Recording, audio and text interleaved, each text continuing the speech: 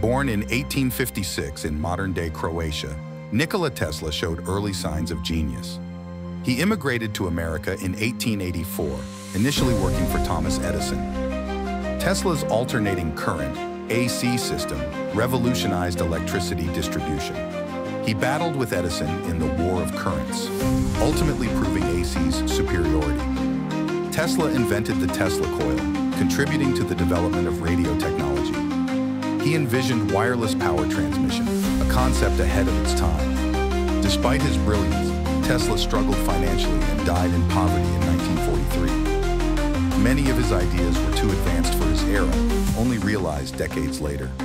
Tesla's work laid the foundation for numerous modern technologies. Today, he's recognized as one of history's greatest inventors and visionaries. Like and subscribe for more stories.